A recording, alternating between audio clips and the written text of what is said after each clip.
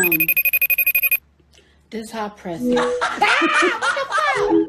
In today's video, we'll be asking ourselves an extremely important question. But what is toxic masculinity? It's fiction. It's fiction. We made it up. We'll be looking at videos from feminist Mona El Eltahawy, The Advocate, as well as Campus Reform, where the younger generation seems infuriated at the mere idea of toxic masculinity but can't quite define what it is exactly. At the end of the video, we'll be featuring a new term that you should be learning, and on a side note, quite a lot of you who watch my videos aren't subscribed. That's suspicious. That's weird. So if you like what you see, click that red sub button, give this video a like, and tell me down below in the comments if you are a toxic male. Snuggles. Gender is a universe. all white people benefit from racism. The health problems I have are more age related than weight related. You are a white privileged male. That's just obnoxious. Peter Sorry, Lloyd, you have to, you have to give me a I chance think we'll to let you respond to carry that. And we don't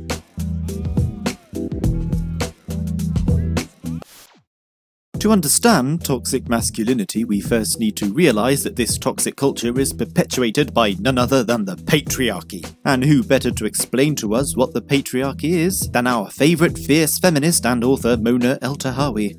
or more recently, I use this definition of patriarchy. Now, the kind of the textbook definition is patriarchy is a system of oppressions that privileges male dominance. And that just kind of goes over people's head. So I want them to imagine an octopus.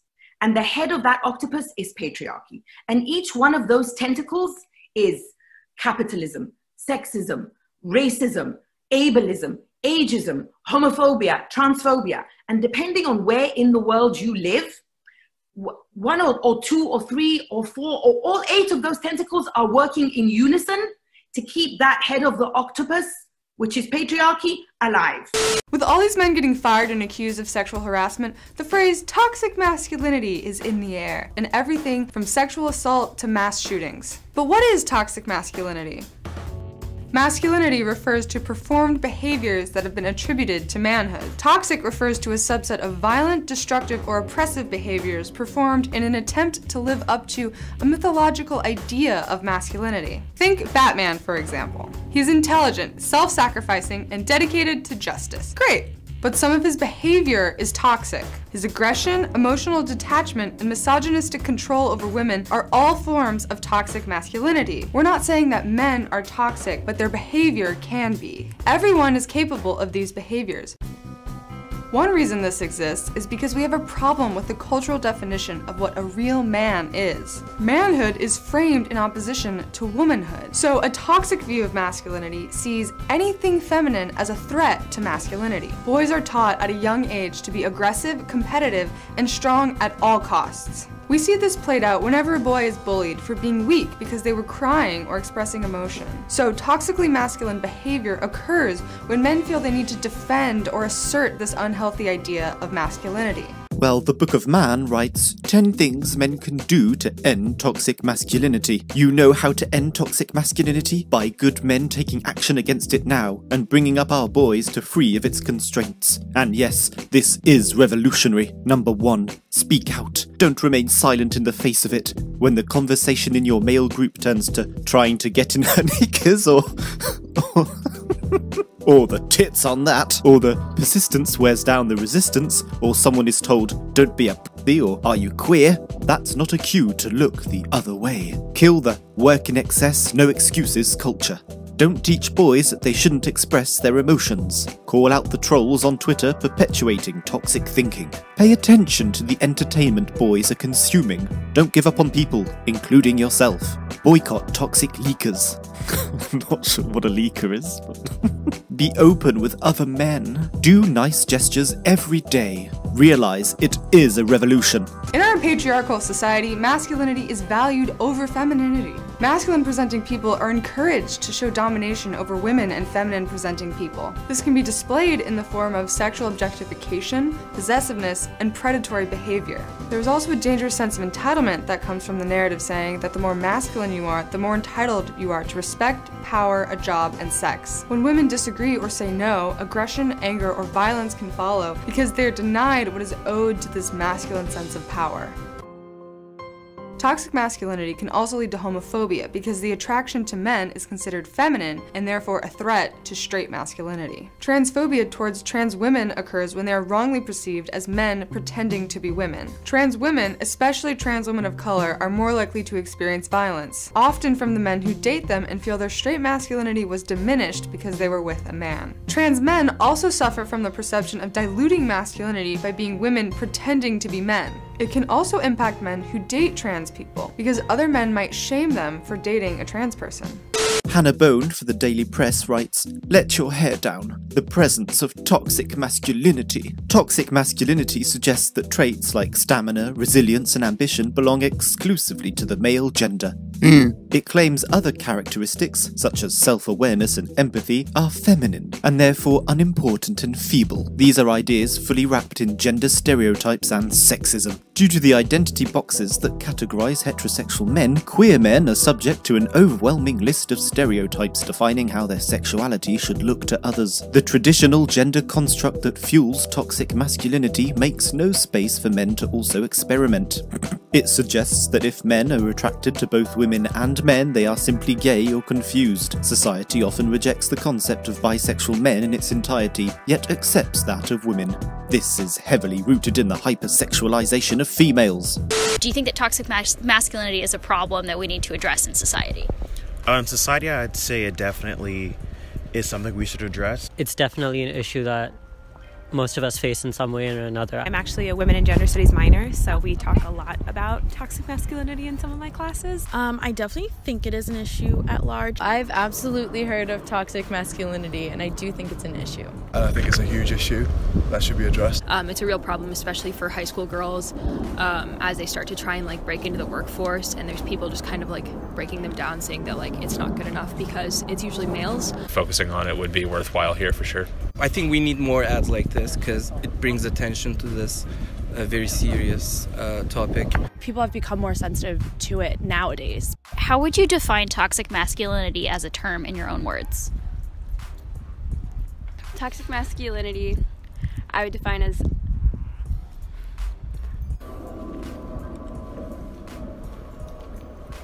There isn't a sort of logic to it. I feel like it's more just strutting your stuff and being manly beyond there being a point to be.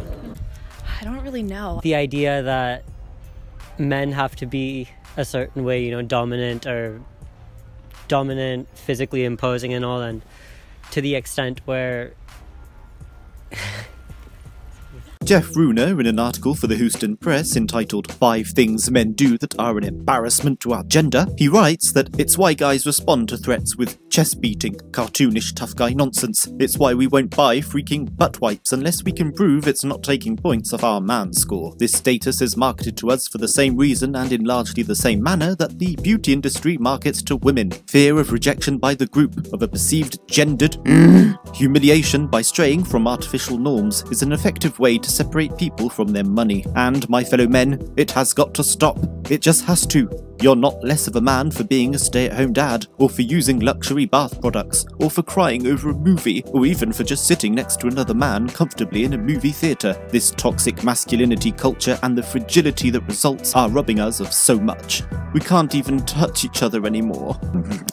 It's keeping us out of growth industries as our traditional occupations wither and die. It's preventing working dads from being with their newborn children. I often get asked why I'm a feminist, with the follow up usually being an accusation that I'm in it for p- because, again, toxic goddamn masculinity. I'm in that scene because I honestly care about equality, but I'm also in it because feminists are the ones trying to purge harmful gender stereotypes that affect everyone. They want to tear up the man card and all the weight it carries with it. Being beholden is to making us weak and sad and scared and ridiculous. We've got to change.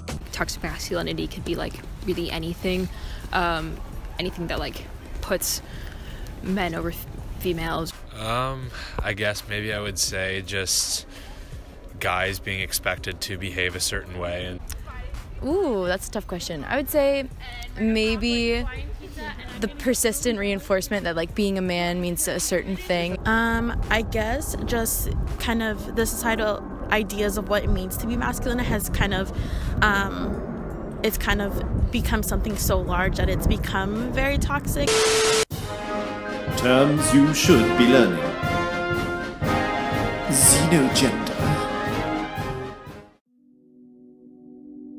Xenogenders are non binary gender identities that can best be described with how they relate to things or beings that most people don't think of as having to do with gender, such as animals, plants, things, or concepts. They are not related to masculinity, femininity, neutrality, or terms commonly used to describe gender. It is sometimes described as any gender that cannot be contained by human understandings of gender. People who identify as xenogender may call themselves xenic. When xenic people talk about their gender experiences, they often find that there aren't any words for their experiences. This is called a lexical gap. In order to fill that gap, Xenogender people often use metaphors to compare their gender to things that are understood. The term xenogender is used as an umbrella term for any non binary gender that is primarily defined by characteristics with no relation to female, male, neutral, or other terms traditionally used for human genders. When described, xenogenders often fall into one of three categories nouns and archetypes. Instead of saying how one's gender relates to masculinity and femininity, one says their gender is, or is like, a kind of animal, an imaginary being, a part of nature, an abstract concept, or a symbol. These types of genders are sometimes called noun genders. Synesthetic perceptions. When a gender is described using things like texture, size, shape, time, light, sound, or other sensory characteristics. These can often overlap with noun genders. They are sometimes called aesthetic genders. Neurodiversity. When one's mental illnesses, neurological conditions, or neurodivergence are an inseparable part of their gender identity. These are called neurogenders.